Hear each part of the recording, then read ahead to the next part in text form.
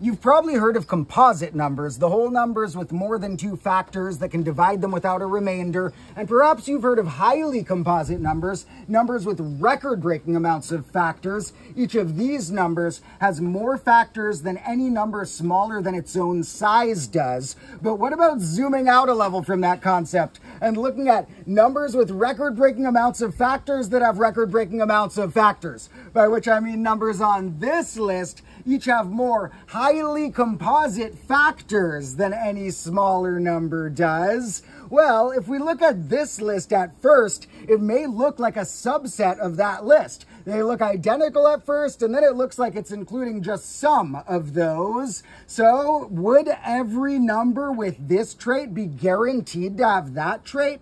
Well, it turns out no. And the smallest exception is the number 30,240. And that number is a number that breaks a record for how many highly composite factors it has, but doesn't break the general record for how many factors it has.